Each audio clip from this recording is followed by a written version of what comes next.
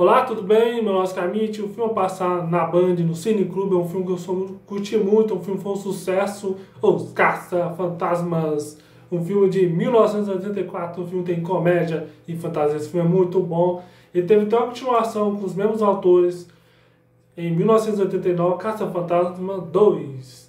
Foi um sucesso, uns filmes muito bons.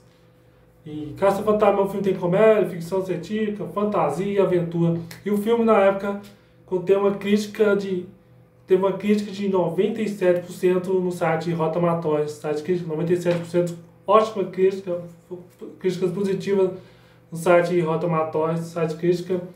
Os parapsicologistas, os parapsicologistas Ego, Raymond, Peter decidem abrir seu próprio negócio de caçadores de fantasmas quando um portal para outra dimensão é aberto em Nova York.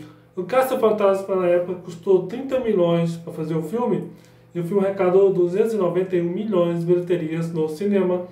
Caça-Fantasma de 1984 e teve outra continuação, Caça-Fantasma 2 em 1989.